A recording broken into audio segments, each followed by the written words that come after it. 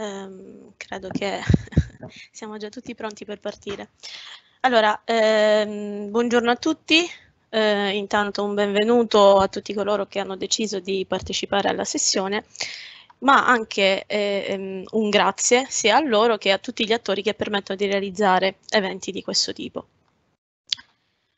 L'obiettivo di oggi con la mia sessione è quello di analizzare, dimostrare come il corretto utilizzo delle risorse che Azure ci mette a disposizione nell'ambito serverless offre, offra tutti gli strumenti per gestire in maniera efficiente la governance delle API. Eh, sviluppando da diversi anni nell'ambito web e soprattutto negli ultimi anni nell'ambito cloud, la cosa che ho imparato è che prima ancora di andare a mettere le mani sul ferro, sulle tecnologie, è importante capire il perché di determinate scelte contestualizzando il tipo di prodotto che si deve andare a realizzare. Ed ecco perché prima ancora di iniziare a parlare del serverless con Azure, ehm, vi racconterò un po' qual è la visione, come approcciare l'API non soltanto come back-end di un'applicazione, ma anche come ehm, prodotto stesso. Le API diventano il prodotto, il core business della propria azienda. E successivamente parleremo di cosa significa serverless in Azure e quali sono gli strumenti per testare e monitorare eh, le API con, costruite con questa tecnologia. Quindi tornando al discorso di prima, se noi cominciamo a immaginare le API non più come il semplice back-end di un'applicazione, ma piuttosto come il vero prodotto su cui deve basarsi la vita della nostra, eh, della nostra azienda, dobbiamo innanzitutto cominciare a pensare alla strategia che deve accompagnare queste API, perché in base al fatto che queste API siano destinate esclusivamente a un uso interno, piuttosto che esternalizzate per creare rela eh, relazioni con potenziali partner esterni o che diventino addirittura delle API pubbliche, cambia il tipo di sicurezza, il tipo di documentazione il tipo di scalabilità che noi dobbiamo immaginarci per questi servizi.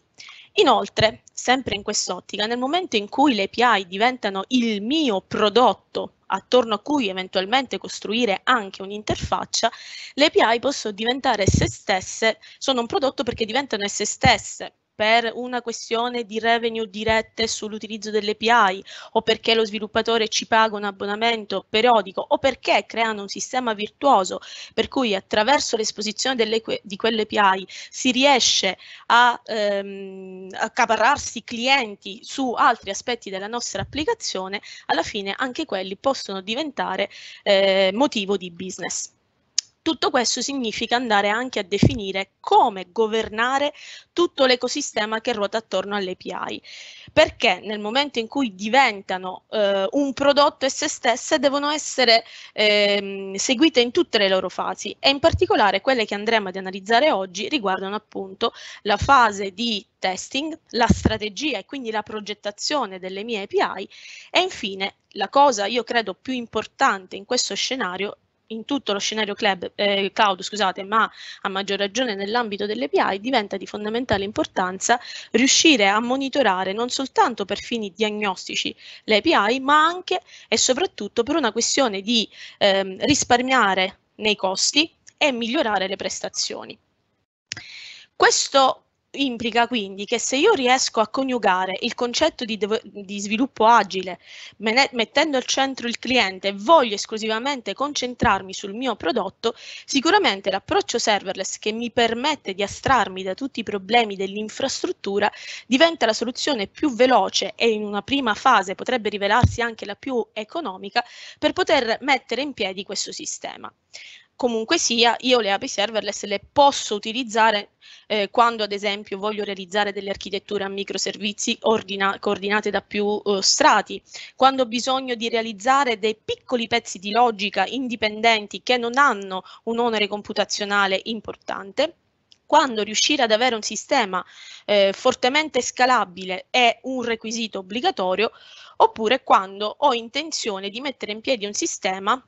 che richieda di essere, eh, che richieda un costo soltanto quando viene effettivamente utilizzato, nel senso che magari questa mia API non è utilizzata da migliaia di utenti quotidianamente, ma è occasionalmente invocata in determinate condizioni. Quindi potenzialmente potrei anche arrivare a, non, a spendere 0 euro per mettere in piedi questo sistema. Occhio però, attenzione a una cosa, eh, scalabilità, eh, prestazioni e così via sono delle risorse comunque limitate. E la cosa importante da capire è che non è che aumentando eh, il livello della, eh, diciamo delle prestazioni e quindi il costo della, ehm, della, della piattaforma serverless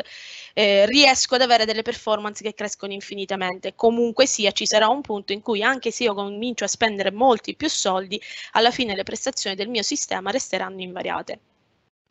Quindi, riconducendoci nuovamente al discorso delle API, la, la possibilità di non occuparci dell'infrastruttura, dell'autoscaling e di non sprecare risorse risulta essere sicuramente una chiave vincente in questo scenario in cui vogliamo esclusivamente costruire un prodotto focalizzato sul cliente e, prodotto, e vogliamo soltanto preoccuparci della funzionalità.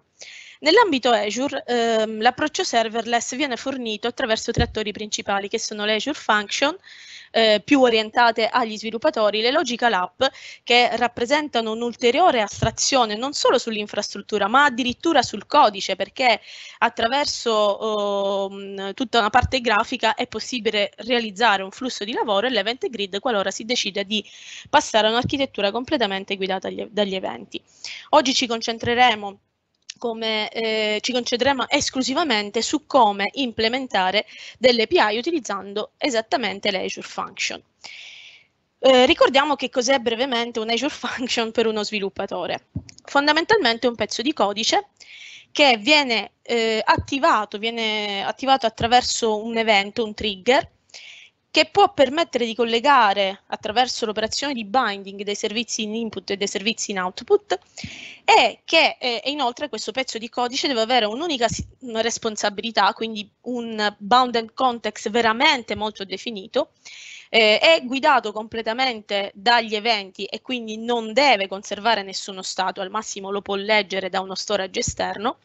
può interagire con altre function ma anche con altri servizi come backend. E infine deve essere eseguito eh, più, nella maniera ottimale possibile perché eh, questo tipo di, eh, perché ricordiamoci che paghiamo le risorse che consumiamo e quando parliamo di risorse significa anche risorsa computazionale, ad esempio CPU piuttosto che memoria. In tutto questo scenario ovviamente io se sono uno sviluppatore sono felice, boh, devo scrivere soltanto un pezzo di codice che faccia qualcosa e questo qualcosa lo faccia bene. Ricordiamoci però che se lo sviluppatore è felice è solo perché lui pensa che probabilmente da qualche parte in una maniera infinitamente scalabile e in maniera assolutamente affidabile eh, questo suo pezzo di codice scusate, funzionerà e addirittura riuscirà a non spendere soldi. Ma ricordiamoci però che è vero, stiamo scrivendo soltanto del codice con delle Azure Function, ma sebbene il codice sia portabile in qualsiasi piattaforma, occhio all'architettura, perché magari se utilizziamo qualcosa lock vendor, non è detto che l'architettura della nostra applicazione sia completamente portabile. I costi non sono predicibili e quindi è necessario, fondamentale obbligatorio avere un ottimo sistema di monitoring. Il codice così eh, diciamo spezzettato potrebbe creare dei problemi di mantenibilità e le prestazioni a questo punto non sono completamente sotto controllo perché dipendono non solo dal codice che scriviamo ma sono fortemente collegate anche con gli altri elementi con cui l'API interagisce o comunque la function. Benissimo, perché eh, quali sono gli strumenti che troviamo in Azure per cominciare a superare queste sfide che il serverless ci pone di fronte? Innanzitutto la possibilità di creare un'ottima fase di, eh, di, design. Ottima fase di design significa aver definito intanto all'interno eh, del nostro team quali sono le linee guida per poter realizzare queste API, quali sono le best practice e soprattutto possiamo concentrarci prima ancora di creare qualsiasi tipo di user interface su quelle che sono le funzionalità delle mie API, ovvero utilizzare il cosiddetto approccio API first. Questo lo possiamo fare perché, ad esempio, attraverso il portale è possibile creare in maniera estremamente semplice tutto il flusso che coinvolge una function. Inoltre, se decidiamo di eh, esternalizzare eh, nostro, le, le, nostre API, possiamo già scrivere una documentazione prima ancora di avere l'implementazione reale eh, attraverso l'API Management, un altro servizio messo, eh, messo a disposizione da Azure che permette di eh, astrarci dai problemi di sicurezza, cioè permette ehm, di fondamentalmente l'API management di Azure funziona come un API gateway, ovvero si preoccupa di creare tutta la parte di indirizzamento e di security e nello stesso tempo offre anche la funzionalità di creare eh, a partire dalla function stessa un portale eh, da ehm, eh, diciamo da per poter poi distribuire eh, la documentazione direttamente online è creata secondo i più importanti standard come quelli di SWOG eh, ehm, per, nostri, per gli sviluppatori che saranno i primi consumatori di queste API. Questo cosa significa? Che nel mio... Eh, scusate ho perso il mouse, eccolo qua, che nel mio, nel creare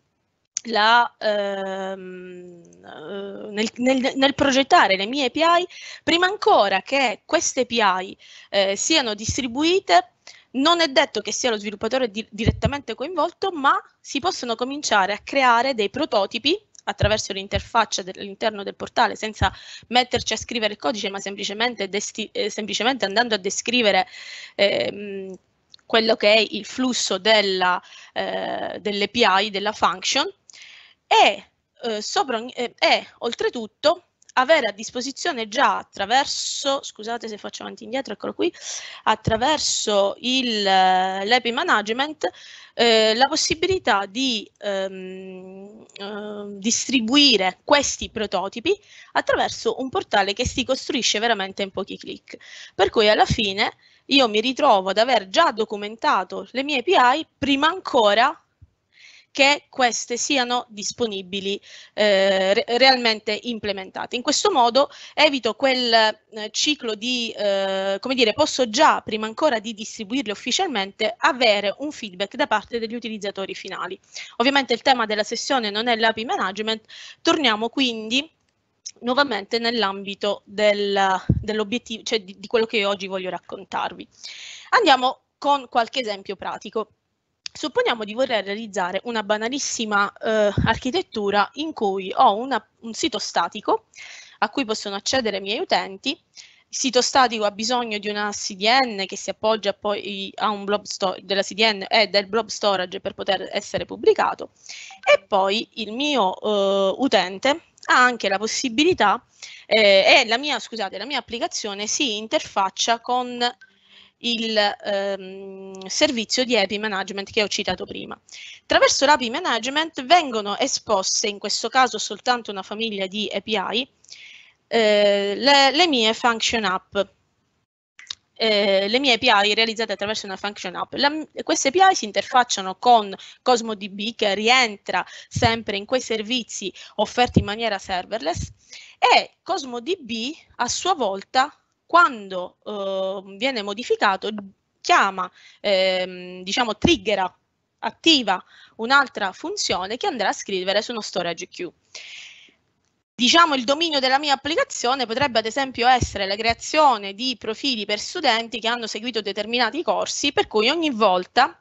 che uno studente inserisce il corso che ha seguito attraverso le API REST di, esposte da questa function app, eh, il corso viene inserito all'interno di CosmoDB e ogni volta che questo corso eh, viene, viene aggiornato e inserito un nuovo corso si solleva un messaggio che mette nella storage, ehm, un, si solleva scusate, un'azione che mette un messaggio nello storage queue e a seguito di questo si solleva una logical app una function costruita attraverso Logical App che manderà un'email al docente eh, di riferimento per quel corso. Ok, ovviamente non ho creato, non ho realizzato nella mia demo tutto questo flusso, ma mi, mi, ci concentreremo esclusivamente a vedere ehm, come ho realizzato dal lato di sviluppo le, la, la, parte relativa alle API, della, alle mm, REST API e come ho realizzato la parte relativa alle function app che gestiscono eh, il trigger sollevato da CosmoDB. Ovviamente se abbiamo ben fatto quella fase di design che vi ho raccontato prima, probabilmente eh, si potrebbe ipotizzare di ehm, eh, cominciare a scrivere il nostro codice eh, seguendo i principi del test driven design. Inoltre, eh, se le nostre function sono state costruite, come nel mio caso ho deciso di scegliere come piattaforma di sviluppo .NET Core, posso cominciare a scrivere tranquillamente il mio unit test prima ancora di scrivere il contenuto della mia, eh, della mia function. Eh, vi ricordo inoltre che per poter effettuare un test locale di quello che state facendo, oltre allo unit test, eh, è mh, consigliabile avere installato l'Azure Store Emulator, Cosmo DB Emulator e lo Storage Explorer. Ma andiamo direttamente a mettere mano sul ferro andando a guardare cosa significa creare delle function con eh, delle API eh, serverless con Visual Studio. Allora, intanto io eh, ho creato il mio progetto, credo che ehm, quasi sicuramente tutti sapranno che mm, esiste il template proprio delle Azure Function all'interno di Visual Studio, quindi ho creato questo tipo di progetto, ho impostato tutti i settaggi relativi allo storage dicendo che sia per la connessione che per ehm, la parte di eh, storage che consumano le mie function a livello infrastrutturale utilizzo lo storage locale. Ho ovviamente attivato localmente Azure Cosmo DB e soprattutto per agevolarmi nell'analizzare il flusso di quello che succede ho a disposizione anche lo Storage Explorer, attraverso cui posso navigare sia negli storage locali, sia CosmoDB che lo storage account, ma posso anche navigare ovviamente negli storage che trovo localmente. Visto che comunque la mia preoccupazione non era quella di creare l'interfaccia, ma quanto di vedere il flusso di eh, funzioni assolutamente indipendenti, non ho realizzato la parte client, ma ci aiuterà a invocare le richieste sia localmente che su Azure Postman, un tool come Postman. Benissimo, cosa eh, significa realizzare delle API? Significa intanto dire che la nostra action deve essere attivata da un HTTP trigger. Possiamo definire il livello di autorizzazione, in questo caso per semplicità, non affrontando il problema della sicurezza nella mia sessione, ho lasciato come anonimo. Posso dirgli, secondo quelli che sono le indicazioni nella creazione di REST API, che tipo di verbo, cioè se sto facendo una post piuttosto che una lettura o un aggiornamento, una cancellazione, eh, deve essere eseguita eventualmente posso definire un routing eh, personalizzato. Vi ricordo però che in generale quando andiamo a parlare di eh, di API eh, con l'Azure Function il percorso predefinito e si può cambiare a livello di configurazione ma non lo faremo in questo momento è quello di ehm, utilizzare come, diciamo, come routing principale API e poi ovviamente l'URL di partenza del dominio, nel questo, questo, Azure sarà quello indicato all'interno del portale, nel mio caso locale sarà ovviamente quello messo in piedi di default dall'Azure Core Tool. Poi, allora, nel caso di una semplice, di, un, di una post, eh, non soltanto ho utilizzato il trigger, ma ho dovuto utilizzare anche un binding in output per scrivere su CosmoDB eh, l'oggetto che mi è arrivato. Piuttosto che eh, utilizzare un input binding quando, utilizzare CosmoDB come input, eh, come binding di input quando devo leggere un oggetto dal database, e nel caso invece di, una, eh, di, una, di un aggiornamento leggo l'oggetto che devo aggiornare direttamente tramite il binding e lo scrivo attraverso eh, la specifica del binding di output. Eh, per quanto riguarda la realizzazione dello unit test, ovviamente mi è stato utile logga, dovendo realizzare, diciamo che in questo caso la mia applicazione era veramente molto semplice, non c'è nessuna, eh, diciamo, non c'è nessun onere computazionale, quindi di fatto mi sono più preoccupata di fare l'esempio di test di integrazioni, ovvero come si indica, come si integra con il sistema di eh, logging piuttosto che eh, simulare la sync collector, moccare la sync collector e quindi attraverso lo XUnit andare a ehm, creare test per i singoli casi. Ad esempio, eh, quando io ehm, eh, decido di creare un, um, un, oggetto nuovo, in questo caso l'ho battezzato con il nome skill, eh, mi aspetto che la chiamata alla function mi restituisca eh, un tipo eh, come valore esattamente quell'oggetto lì, un oggetto di quel tipo. Eh, la stessa cosa, per esempio, quando mh, posso andare a testare eventuali criteri di, di, di validazione. In questo caso ho creato un test per cui se non specifico, siccome all'interno del mio mi aspetto che un corso abbia sempre, eh, scusate, una competenza sia sempre associata eh, a una descrizione, se non specifico la descrizione, mi aspetto che il mio, eh, diciamo, mm, l'oggetto che deve preoccuparsi di eh, aggiungere eh, l'elemento nel database non invochi mai l'add async. E questo è soltanto un esempio per quanto riguarda lo unit test. Se vogliamo poi vederli in azione, banalmente, basta far partire eh, il progetto con le API e ehm, qui nella console possiamo vedere tutto quello che accade live nel momento in cui invochiamo la function, qualche secondo per mettere in piedi tutto un pochettino rallenta la, il, diciamo, il PC quando, vado in, quando andiamo con condivisione. Ok. Aspettate, lo facciamo ripartire perché volevo semplicemente farvi vedere il risultato. Ok, perfetto, è partito l'Azure Function Core Tool questo è un tool che si può installare indipendentemente dalla presenza di Visual Studio, se ad esempio decidete di ehm, progettare, di, di, di sviluppare le vostre API senza utilizzare Visual Studio. E allora, a questo punto, le mie function sono in attesa. E una cosa che mi sento di sottolineare proprio in questo discorso è che il fatto che eh, le, eh, si possa eh, si possono azzerare i, co i, costi nel momento in cui la function, l'API viene utilizzata poco, deriva dal fatto che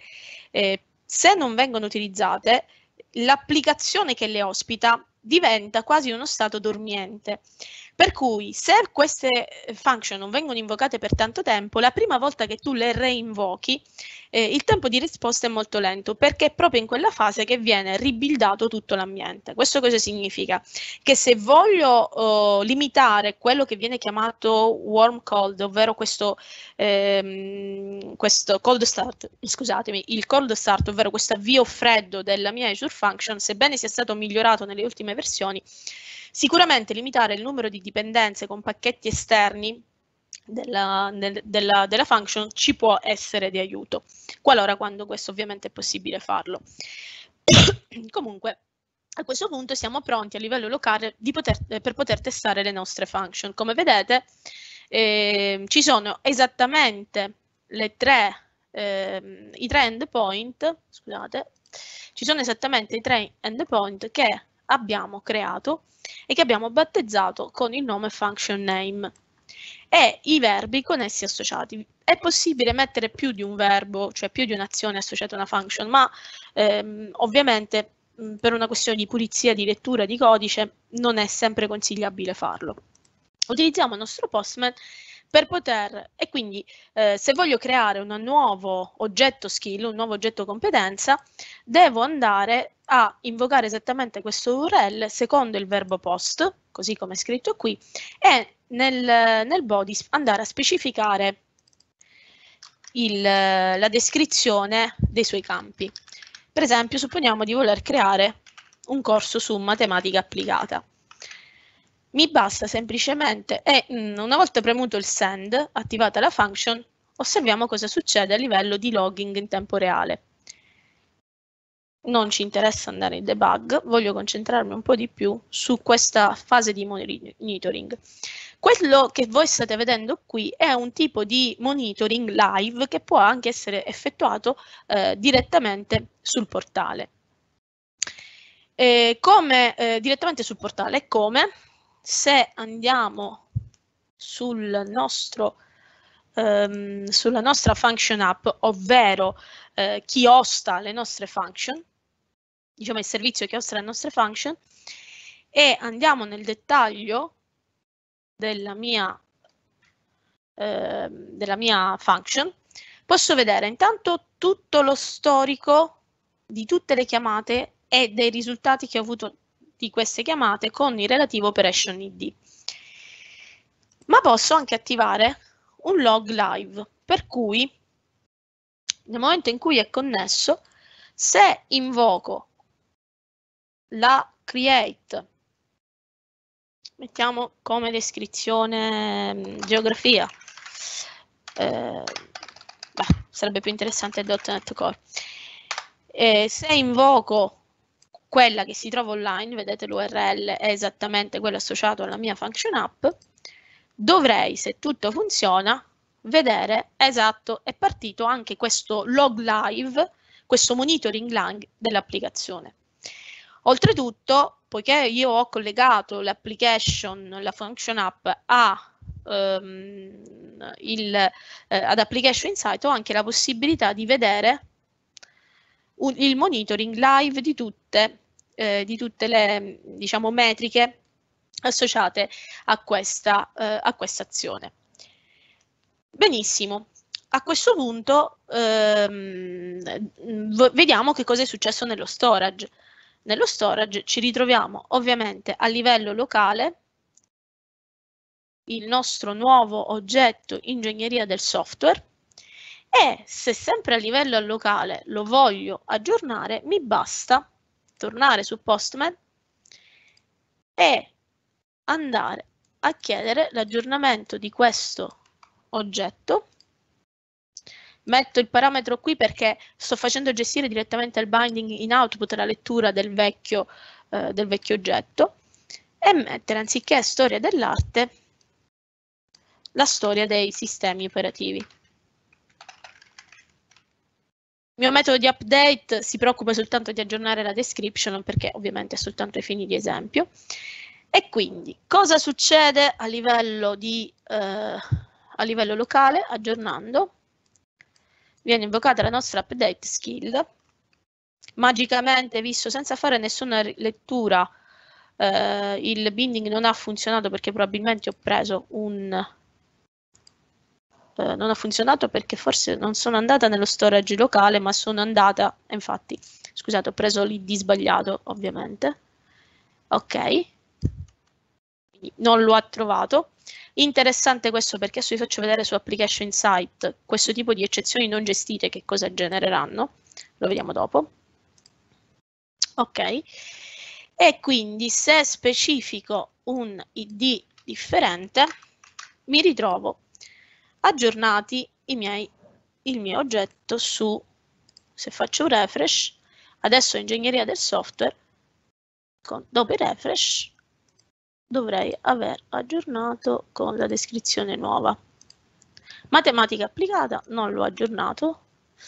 Storia dei sistemi operativi. Sono andato online. Ok, avrebbe dovuto aggiornarlo. Ok, eh, probabilmente ho, fatto, ho proprio un bug nel codice, per cui non, non ho assegnato. Ok, mi sono dimenticata nel codice ad assegnare ovviamente la description. Ho assegnato l'id ma non la description. E quindi giustamente non mi ha aggiornato l'oggetto. Demo live add new start new instance. Ecco perché non mi funzionava neanche online e quindi tornando al nostro discorso ovviamente adesso dovrebbe, dovrebbe funzionare. Ok. Ha eseguito il suo metodo. E nello storage. Matematica applicata. Ok non gli piace lo stesso. Non è il momento di debuggare. Comunque in teoria deve essere ah eh, scusatemi ovviamente ho fatto un altro errore. Ok eh, se avessi scritto il codice giusto fidatevi ci sarebbe stata qui ehm, l'aggiornamento. È stato stamattina ho cancellato qualche riga inavvertitamente. Tornando al nostro, uh, al nostro esempio eh, tutto questo bello, bellissimo, funziona, ma c'è un altro problema, ovvero se io, visto che spezzetto il codice in così tante piccole parti, perché abbiamo anche la parte relativa alla, se vi ricordate nella, nello schema che vi ho fatto vedere, eh, oltre alla, ehm, nella, nella, mia architettura ho previsto anche una function che non viene attivata da un trigger, ma viene da un trigger derivante da una richiesta HTTP, ma viene attivata da una modifica all'interno di CosmoDB. Al mio ho definito anche un'altra function che eh, come eh, trigger di, eh, quindi come eh, evento che ne attiva il funzionamento abbiamo un Cosmo DB trigger e come oggetto in output ha esattamente una coda. Questo significa che l'oggetto che abbiamo creato prima online non solo ha creato un nuovo oggetto nella tabella document, ma è andato anche ad aggiungere un nuovo messaggio in una coda. Ok? E tutto questo è successo online senza eh, semplicemente avendo definito a livello di codice il trigger e l'output della mia, eh, quindi eh, dove andare a scrivere il risultato della mia elaborazione. Tutto questo, eh, quindi abbiamo già praticamente per ogni è buona prassi, per ogni diciamo dominio di eh, function, creare delle function app separate. E eh, ovviamente eh, andare a aggiornare in maniera manuale, eh, adesso abbiamo solo due, fondamentalmente due eh, microservizi, ma se questi servizi cominciano a crescere senza il supporto dell'automazione derivante dal DevOps, eh, mantenere il continuous integration, il continuous delivery in maniera manuale diventa alquanto oneroso. Ed ecco perché eh, il mio progetto, oltre ad utilizzare Azure DevOps come repository, ha anche automatizzato il processo di pubblicazione attraverso le pipeline. Eh, già da, eh, di, da, un paio d'anni eh, le pipeline vengono fatte e definite attraverso il codice, attraverso all'interno di questi file e quindi non soltanto questo, diciamo, questa automazione eh, che io vedo a livello di interfaccia e di servizio all'interno di Azure DevOps di fatto viene gestita come codice all'interno della mia soluzione. Per cui ogni volta, in questo caso l'ho settato volutamente all'interno del file, io faccio un nuovo push nel mio repository, automaticamente le mie function si andranno ad aggiornare.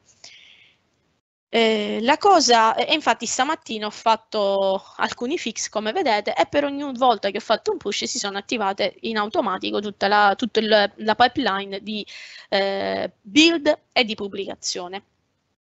Ovviamente se decidiamo di utilizzare Azure DevOps potrebbe avere molto senso andare a utilizzare anche la parte di gestione di processo e dei team attraverso la sua board. Infatti per ogni processo è possibile poi eh, attivare eh, una board collegata al tipo di metodologia Agile, Scrum piuttosto che Kanban o altri custom Agile eh, decisi per il proprio team, eh, le, le, board con tutta la lista dei backlog. Comunque, non, eh, se, se, qui diciamo siamo un po' off topic, quello che è importante capire è questo, l'ho sintetizzato in questa slide, ovvero che se noi ehm, andiamo a utilizzare eh, questo tipo di approccio serverless senza affidarci all'automazione della parte di DevOps, eh, senza un'automazione che sia Azure DevOps, che sia mh, mm, Terraform o altri sistemi, eh, non ehm, perdiamo molto dei vantaggi che si ha con l'approccio serverless. Come vi dicevo prima, eh, è importantissimo nell'ambito di queste applicazioni che non hanno un costo predicibile e deterministico, che possono avere delle prestazioni inficiate dall'ecosistema che c'è attorno, l'aspetto di monitoring.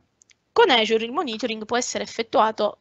viene effettuato perché si registrano dei log, ma si registrano anche delle metriche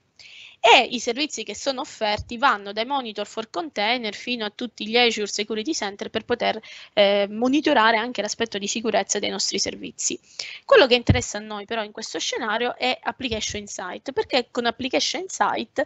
che posso costruire il distributed tracing. Volendo semplificare notevolmente il concetto di distributed tracing, che è un po' anche la definizione che si trova nella documentazione ufficiale di MSDN,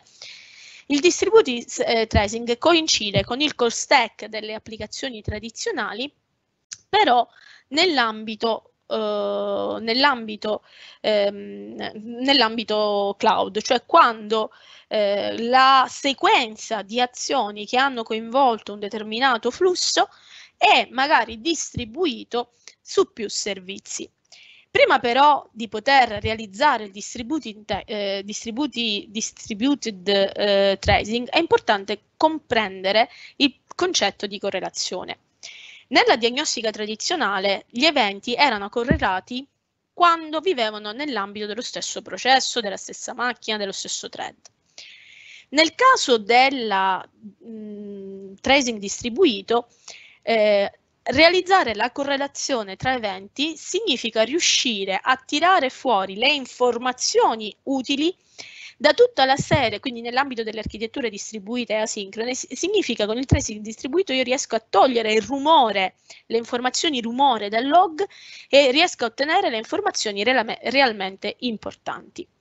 La, eh, la, correlazione può essere a livello contestuale quando andiamo a considerare parametri che riguardano più l'infrastruttura, che, eh, che, diciamo legati più all'infrastruttura, al, al thread, alla, alla, all'invocazione, alla request, quindi più legati a questioni infrastrutturali che di business logic.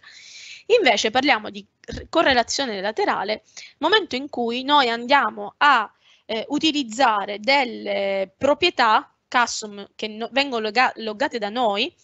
e che mi permettono di ehm, ricostruire la storia che una determinata entità ha vissuto nel corso del suo processamento. E in questo caso, per esempio, potrebbe essere l'identificativo dell'oggetto coinvolto nella transazione. E senza, se non si utilizza un logging strutturato, per esempio quello che offre l'interfaccia logger eh, del sistema di logging di Microsoft supportato a .NET Core,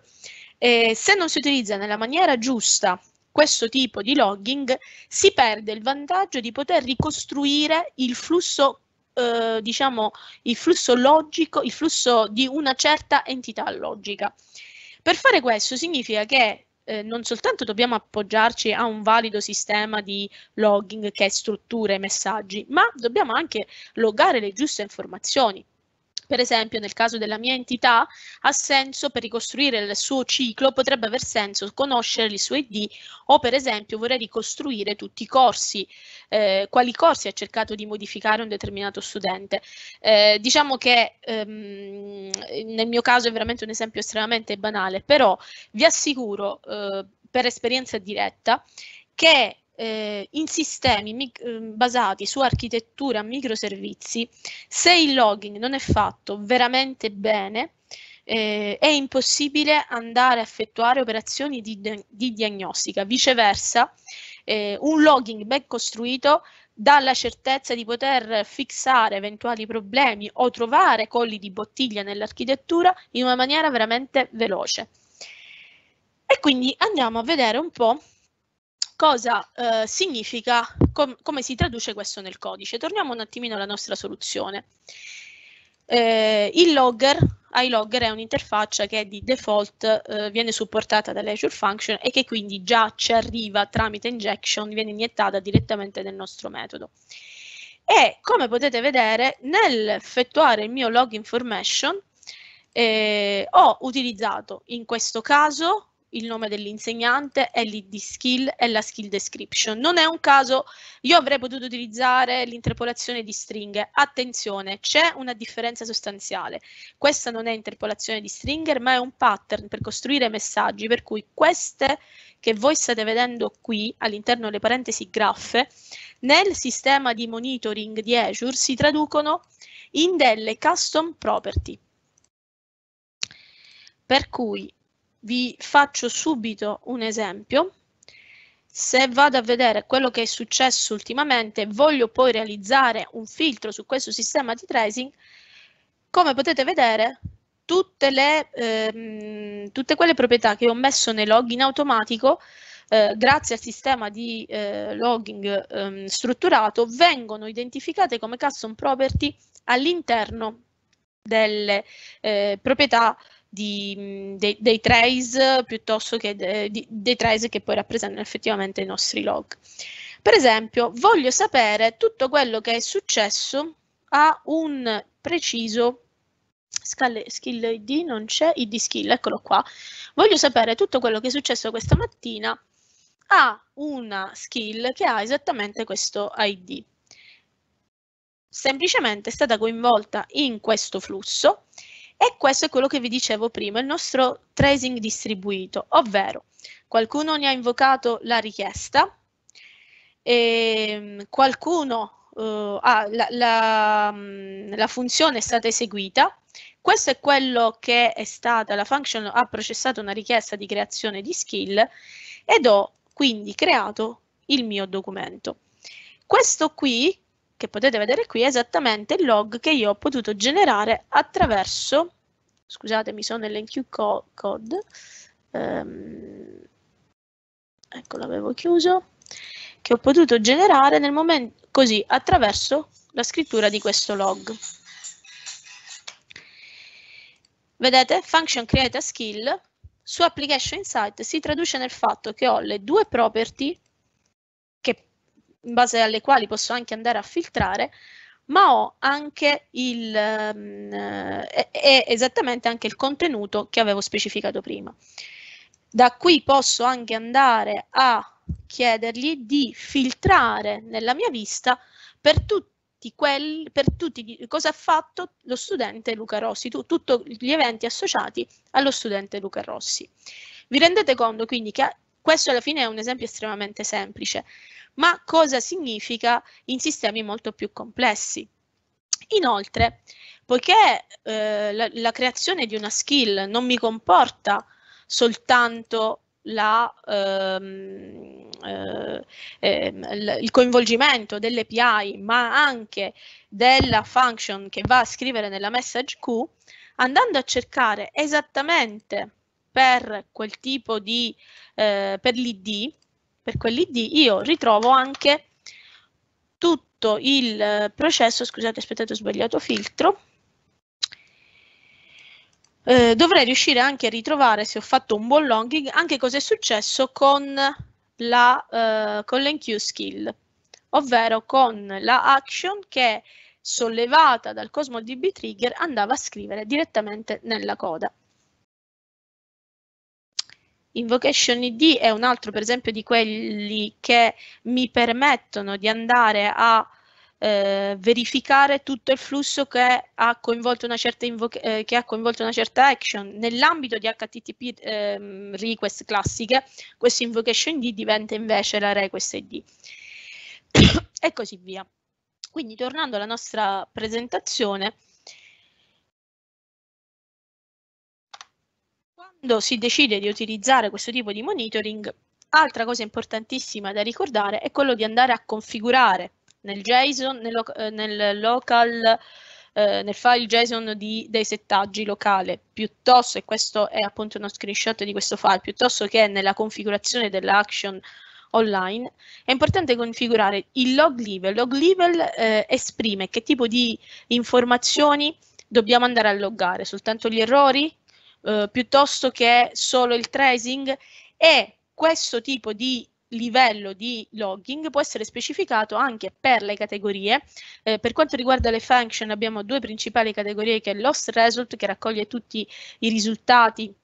di fallimento, di successo dell'action, dell piuttosto che altre informazioni di aggregazione. E questi sono visibili quando andiamo a vedere, eh, quando all'inizio vi ho fatto vedere, quando si va nel dettaglio della function, magari adesso ve lo mostro, quando si va nel dettaglio della function e si eh, va a cliccare proprio sulla tab monitor. E una cosa fondamentale che eh, a volte sfugge di mano è il settaggio del campionamento, del sampling. Infatti, eh, Application Insight ovviamente è un servizio come il 99% dei servizi su Azure a pagamento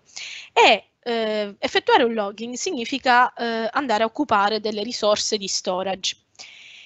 Eh, quindi monitoring significa anche eh, utilizzare uno storage, utilizzare risorse di network e così via. Per cui eh, Application Insight di default vi abilita il campionamento.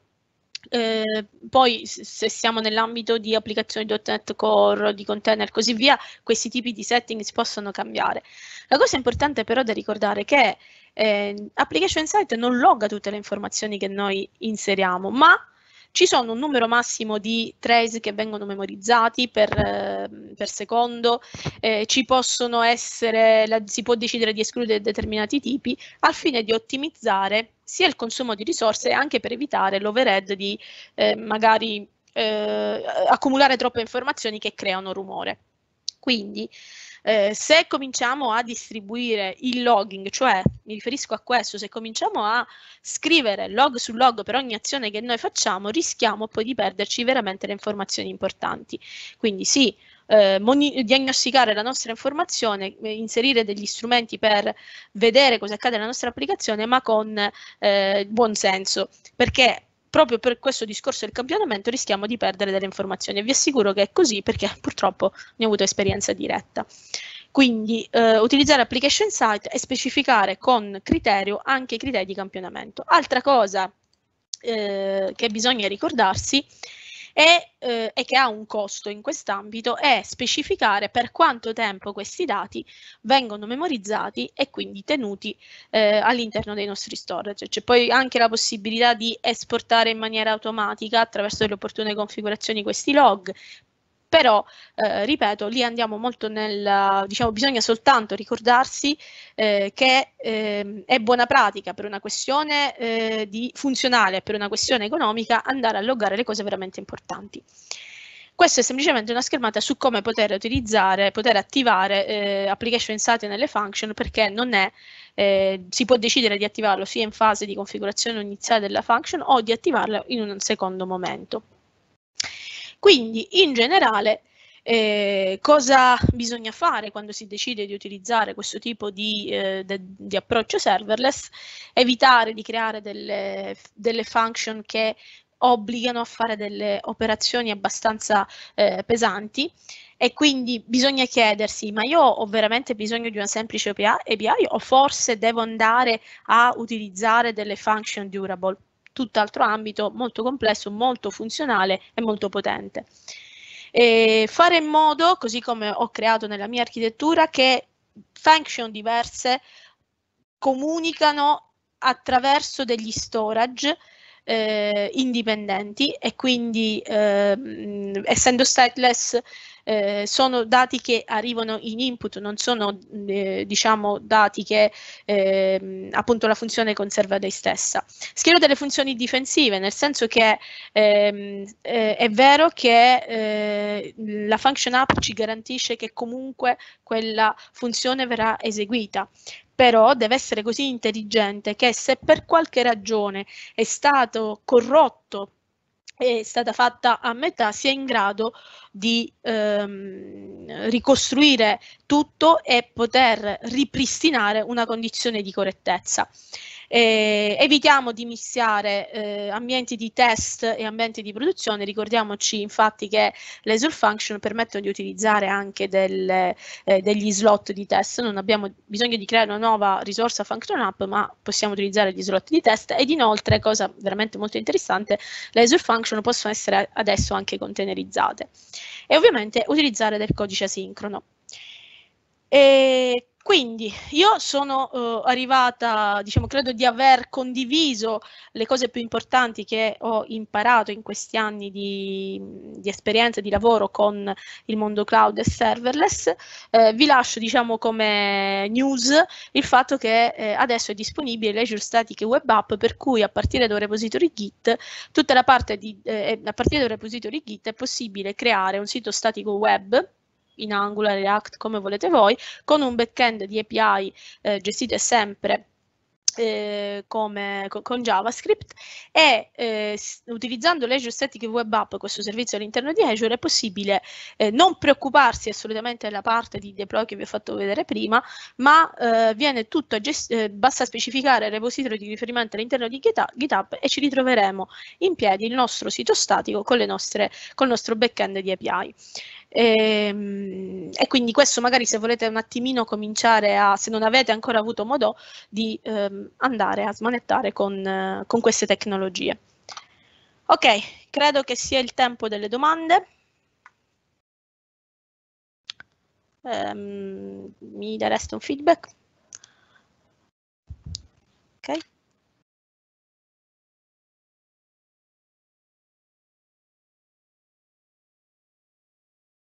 Sì, allora io eh, ho visto qui sulla, non me la ritrovo sul, um, sulla mia tabella question, però qui eh, c'è Daniele che chiede se per cambiare il livello log è necessario fare il redeploy della function. Sì, e ti spiego anche il perché. Eh, devi fare il deploy perché eh, quel tipo di settaggio lo devi andare a specificare non devi fare mh, il deploy inteso come eh, build e deploy attraverso la pipeline, ma semplicemente questi tipi di settaggi, se vado a prendere una function app,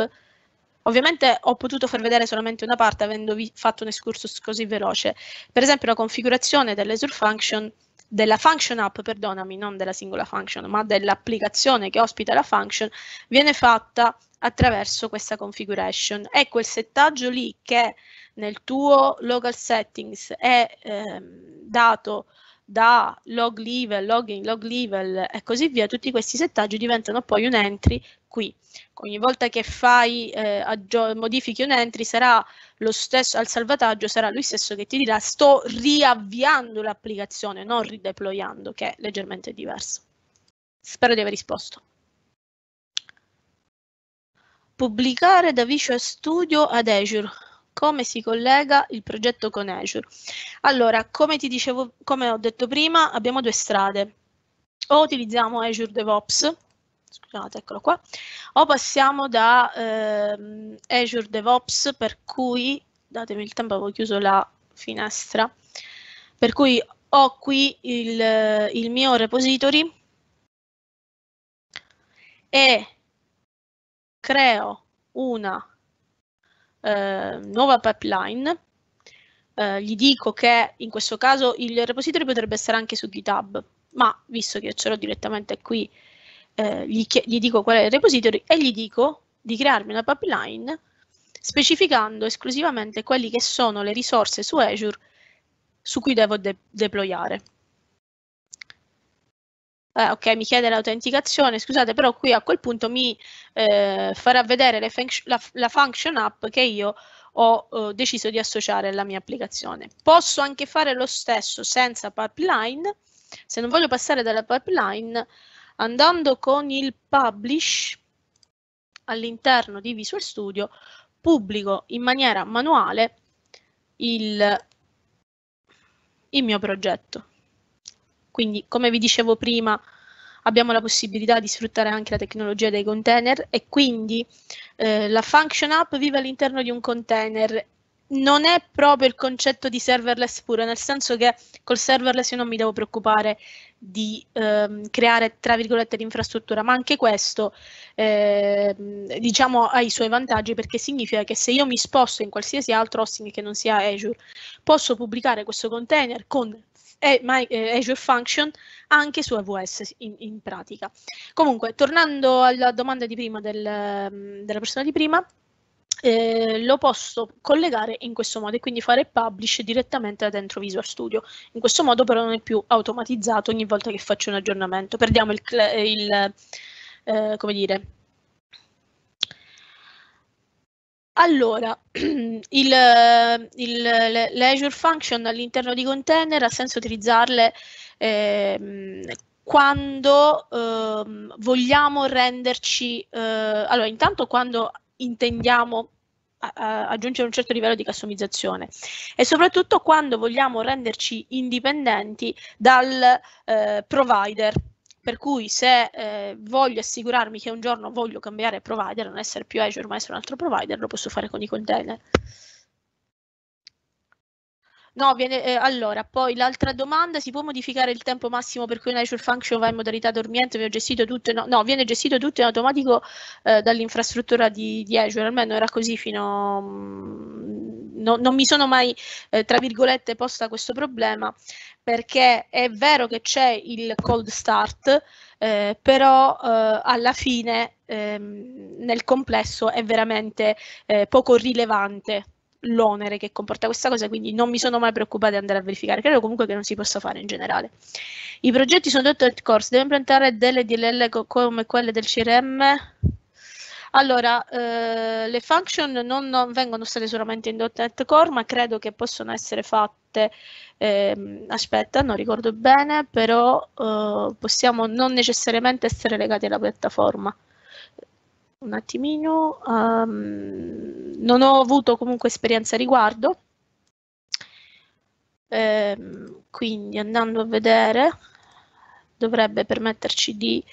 eh, quali sono le piattaforme. Sì, abbiamo anche la versione .NET Framework Core, eh, però devi, diciamo, come dire, eh, non, non, no, in, in, generale sono con .NET Core. Eh, magari puoi creare un livello di astrazione attraverso una, una, DLL standard che fa come dire da layer per permettere l'utilizzo delle function e il, le tue DLL col CRM. Allora, tutti i trigger che sono attualmente, eh, domanda su Anonimo, se è possibile implementare trigger utilizzando DB, diversi, utilizzando DB diversi da CosmoDB,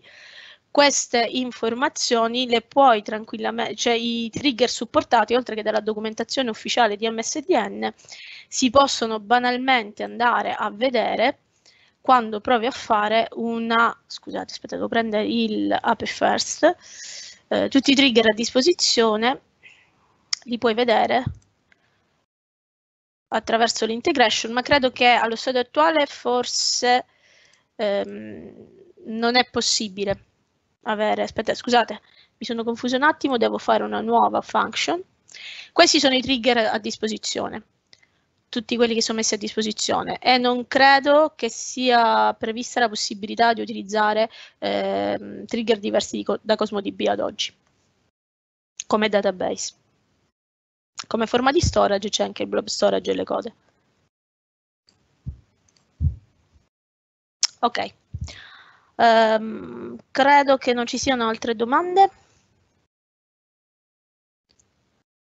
Ok, se non ci sono altre domande, un grazie intanto per le domande, sono state veramente, veramente utili per ampliare i concetti che, che ho raccontato. Um, non finisce qui, diciamo, vi ho dato soltanto, come dire, un, um, è stato come guardare dal, dallo specchio di una finestra, ma serverless e Azure molto, ci sono molte possibilità e molte potenzialità eh, nel, nel creare questo tipo di applicazione. Sempre con il buon senso, ovviamente, non utilizzare serverless sempre e comunque. Ok, da parte mia eh, ho finito.